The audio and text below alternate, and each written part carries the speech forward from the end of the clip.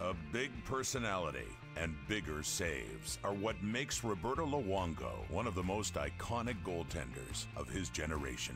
Following a successful junior career, the Montreal native was selected fourth overall by the New York Islanders at the 1997 NHL Draft. At the time, he was the highest selected goaltender in league history. After one season with the Isles, Luongo was traded to the Panthers, where his star truly began to shine. What a stop by Roberto Luongo! Oh my goodness!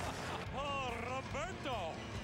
During his first stint in Florida, Luongo proved to be a relentless worker, setting multiple franchise and NHL records in saves, shots faced, and games played highlighted by a then Panthers record 35 wins in 75 games during the 05 06 season. Oh, what a save off the stick of Lecavalier, who looks at the skies. The following campaign, the All Star goaltender was traded to the Vancouver Canucks, joining his Hall of Fame classmates, Henrik and Daniel Sedin. That season, he would notch 47 wins, helping propel the Canucks to first in the Northwest Division. Brouwer with a long shot. Rebound. Oh, what a save! Luongo just robbed Ben Eager. That's unbelievable. Luongo's leadership on the ice and in the dressing room was rewarded when the Canucks named him team captain, despite the NHL's rule that prohibits goaltenders from serving the role. During two seasons as captain, he was not allowed to wear the C on his jersey, so Luongo had the letter added into his mask design. In 2011, he led the league with 38 wins, helping guide the Canucks to the President's Trophy and to the Stanley Cup final against Boston, ultimately falling short in Game 7. Success would come on the international stage for Luongo, winning a World Cup of Hockey, two golds at the IIHF World Hockey Championship, and was a member of three Olympic teams, winning gold medals on home soil at Vancouver 2010 and again in Russia at Sochi 2014. I'm just happy that I was able to win this for uh, Canada, Vancouver, and myself. At the end of the day, I'm a gold medalist, and nobody can ever take that away from me. Luongo was traded back to the Panthers at the 2014 trade deadline during his second spell in Sunrise, Luongo became the all-time franchise leader in games played, wins, and shutouts. He also moved into second place for most games played by a goalie in NHL history. He currently sits fourth in the NHL in all-time wins and ninth in all-time shutouts. The Panthers retired his iconic number one in 2020, becoming the first player in franchise history to earn this honor. After years of turning away shooters, the Hall of Fame now opens its door to this legendary netminder.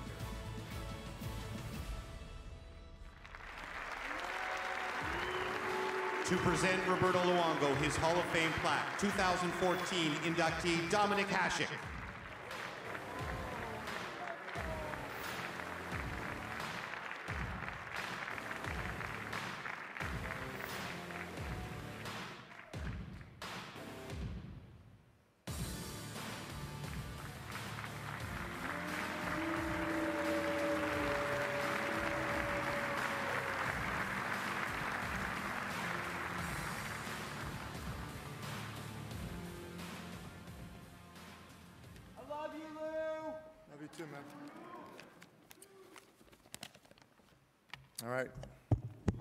Are you guys nice and relaxed now that your speeches are done? I'm the only one stressing up here. Yeah. Um, well, Dominik Hasek, that's the first time I ever meet him in person, so thank you for that. That was uh, incredible. Um, he is, he, is a, he is a true legend and one of the best goalies ever, and uh, I do not think everybody's going to play like him again, but it was unbelievable to watch. Um, I'd like to start off just by thanking the selection committee, Lanny and Mike. Uh, thank you so much for this tremendous honor. Uh, Kelly Massey organizing this whole weekend. It's been unbelievable. Um, my family and I are ecstatic of all the activities we got to celebrate together, and uh, we really want to thank you for that. I want to thank the, uh, congratulate the inductees, the Carnegie family. It's a, truly an honor to be part of this with you guys, uh, to know, get to know you over the weekend. Alfie, congratulations. Uh, Riikka, and obviously Hank and Danny. Um, when I got the call, the first thing I asked was if you guys were into because uh, I wanted it so bad to go in with you guys. Um, just being your teammates for eight years uh, was such an honor, and I'm proud to say that I play with you guys because um, just watching you, not on the ice, but also in the locker room as people, um, I hold you in such high regards um, that um, it's tough to put into words because you guys had so much pressure on you every night, you know, as the face of the franchise, and you guys never deviated from who you were. You were always positive, uh, and we looked up to you. Not only myself, but I know everybody in the locker room looked up to you guys. Um, that you guys are leading the way for our club, and uh, you really brought us along. So thank you.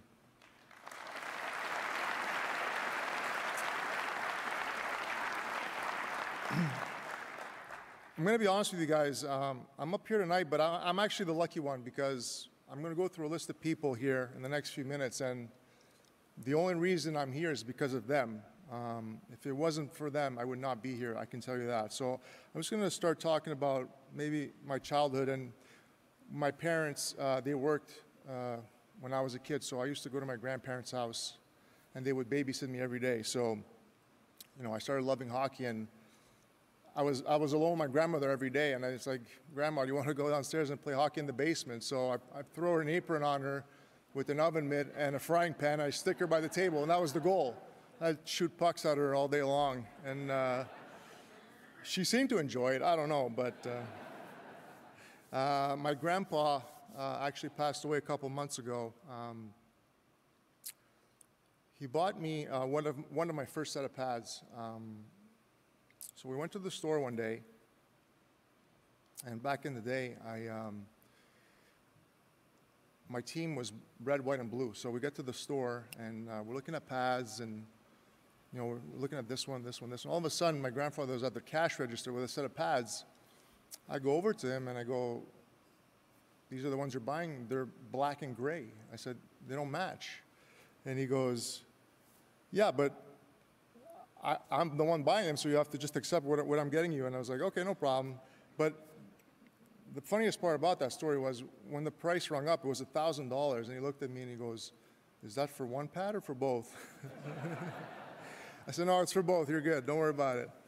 Um, a lot of people have mentioned like my work ethic and all that kind of stuff. So uh, I just want to let you guys know that that came from my mom and dad. Um, you know, as a kid, um, we were not really well off, and uh, you know, my dad would work every day, my mom would work every day, and they worked hard, and they taught that to me as a young age. And as a young kid, I would go with my dad and help him build uh, bedroom sets when we were kids. So uh, I'm really appreciative of the lessons that they installed in me at a young age that I carried through my adulthood, and I'm trying to instill in my children today. We were, we were three brothers in the house. All three of us were goalies. I was the oldest one. Um, so we were busy. We were busy. Um, we had a lot of battles. Uh, we played in hockey in the basement every single night. We destroyed it. Like the walls were done, but uh, we had such great times and such not so great times. Uh, a lot of tears, a lot of laughter, but uh, I just want to say to Leo and Fabio that um, thank you guys for being there for me all these years, not only when we were kids, but as I grew up and I had some troubles. And you guys always had my back, and you always were there for me when I needed somebody to talk to. And it really meant a lot to me. Thank you.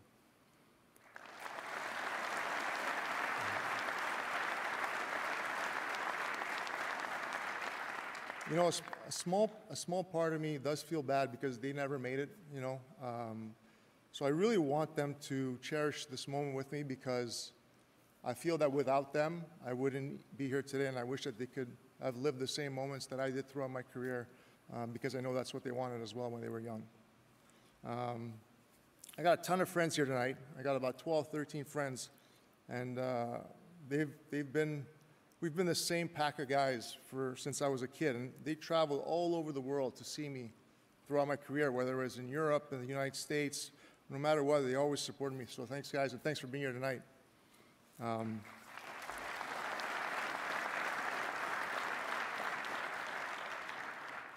something that I've been thinking a lot about since I retired is all the people that have come across my path, whether it was a coach uh, or a teacher, whatever it was. And I always say to myself, if one of these people did not believe in me, I wonder where I would be. Probably not here today. And that's why all these people that, that came across that, that I worked with, whether it was a goalie coach or a coach, it was so important to me in my life that I just want to mention them by name. And uh, some of them will you, will you'll sound familiar, but some of them maybe not. But uh, my, the first goalie coach that really believed in me, his name was Mario Barry.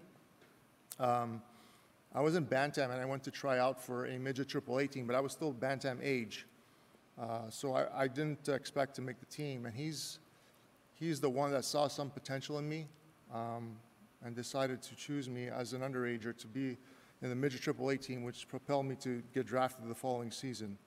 Um, once I became a teenager, I started to learn more about the position and more the technicality about it. I started working with Francois Allaire. Um, he's the one that was uh, Patrick Roy's goalie coach back in the day when he was with the Montreal Canadiens, and uh, he really taught me everything I know technically um, throughout my career, and it really elevated my game to just being a grand Fuhrer lover to a, you know, a goalie that actually has some structure. merci beaucoup, François.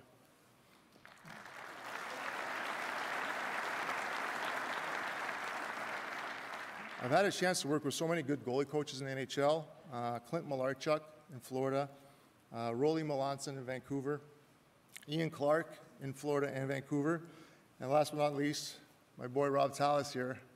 Uh, we uh, ended the end of my career together. Uh, the last few years, Rob was amazing. Uh, thank you for always supporting me.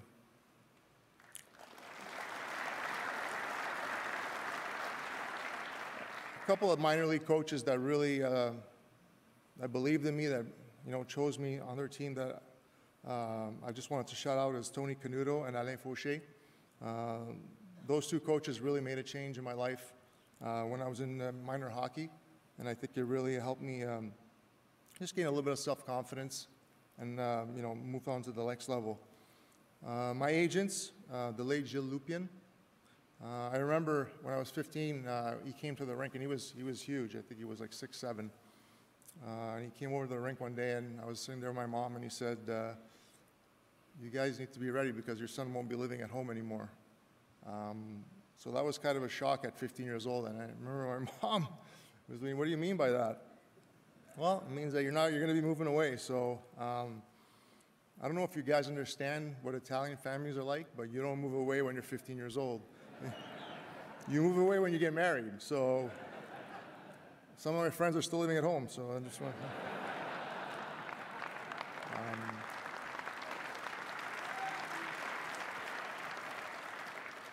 Later, uh, later on in my career, I moved on to Pat Brisson, uh, helped me uh, facilitate the trade uh, back to Florida, and uh, really was a great friend to me in the last few years. So thank you, Pat, for being here.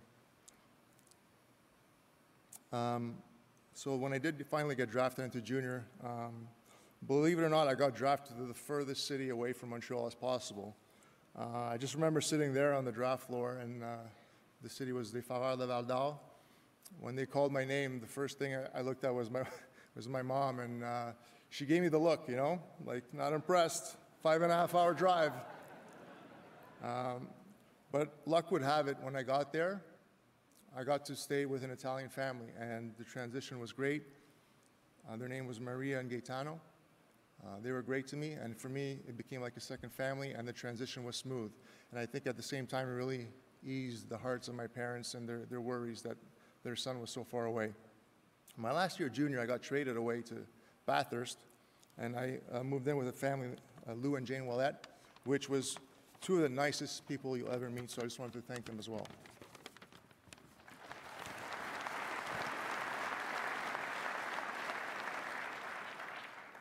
every summer I would work out in, our home base was in Florida and I would work out there in the summertime and I had uh, this trainer, Manny, an ex-Marine, that uh, would train me every summer. And one of the things he'd like to do is he'd like to make me push his truck in the parking lot. I didn't, li- I didn't like it that much, to be honest with you. Um, then one year, the season was over. I show up to the gym, and Manny goes to me, hey, Luke, come see what I just bought. So I go in the parking lot, and he had just bought an old Hummer. I don't know if you guys have ever seen those. They weigh about 5,000 pounds. So that was my last off season. Um, I've been part of three franchises. Obviously, um, I got drafted by the New York Islanders. So I just want to thank them um, at the time for believing in me. I think even though uh, my stint there was very short, um, it's still memorable because that's where I first started um, and played my first ever game. I played for Vancouver Canucks and the Florida Panthers, and a lot of people have asked me, you know, who would you go in with and all that kind of stuff. But to be honest with you, both franchises mean so much to me, and they're both equally important. I had my best moments in Vancouver. I got to a Stanley Cup final. Um, I got to appreciate things more uh, during the difficult times, and I think they demanded a lot out of me, and uh, I expected a lot out of myself, and I think they helped me push me to become a better player, and most importantly, a better person.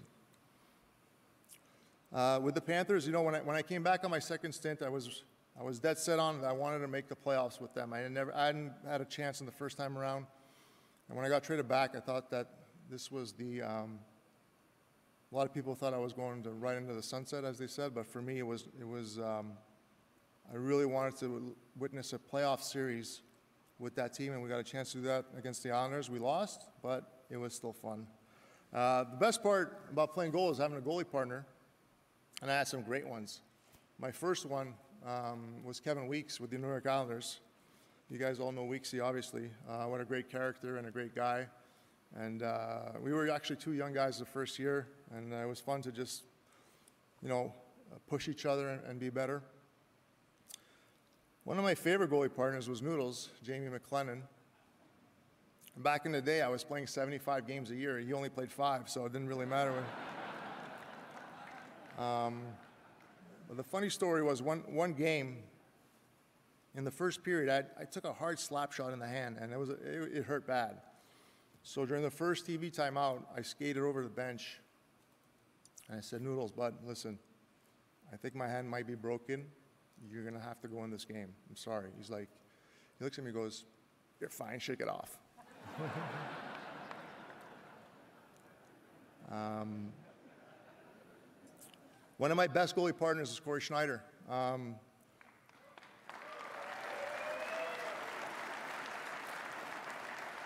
not only was he my best partner, he was an awesome guy. And I don't know if you guys know this, but he played in an American Hockey League game on Saturday and Sunday, he came over here to play in the Legends game, which, by the way, I scored two goals. You guys didn't know. Uh, to play in the Hall of Fame game. That, that is, that's crazy, just to show you how good a guy he is.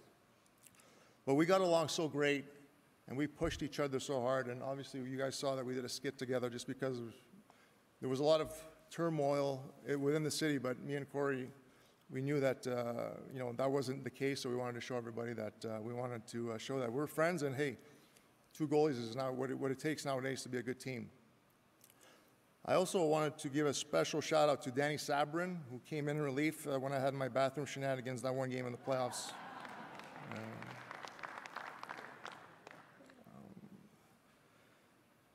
Uh, when I first got traded to Florida, I was single, obviously, and I was 21 years old. I did not know where to go. And I remember after one practice, Scott Mellanby, came up to me. He's like, hey, I want to take you to this Italian place. It's right down the street from the practice rink. The, the owner wants to meet you. I said, sure. You know, it was right by where I live, so it was perfect. So I go over there, and uh, I meet the owner, six foot five Italian, uh, great guy, and we became friends. And you know, after a little bit of time, they started inviting me over to the house. I was having dinner there. It was great. It was like another family. So um, wouldn't you know it, they had a daughter.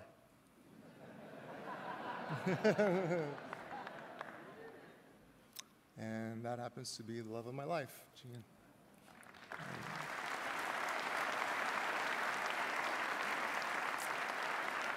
So, but now I have three loves in my life because I also have two beautiful kids, Gabrielle and Gianni.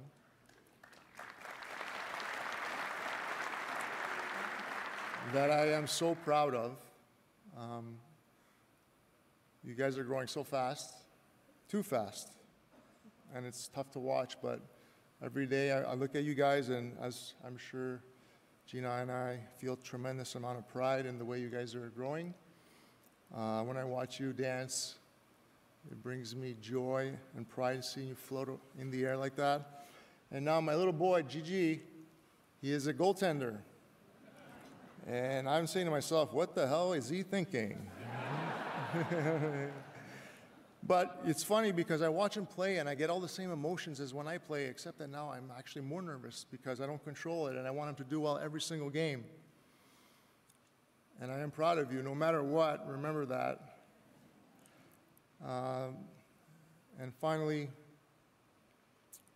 uh, the love of my life, Gina, my rock. Um, it's been a long journey. It's been tough, and like Hank and Danny said, you know, a lot of times you were left on your own because we were on the road playing cards, winning at cards, mostly for me. I don't know, but uh, and you were, you know, holding down the fort at home. And uh, as athletes, sometimes you take that a little bit for granted, but um, I just want to say that I admire you, um, and I love you so much, and thank you for everything. Thank you, guys.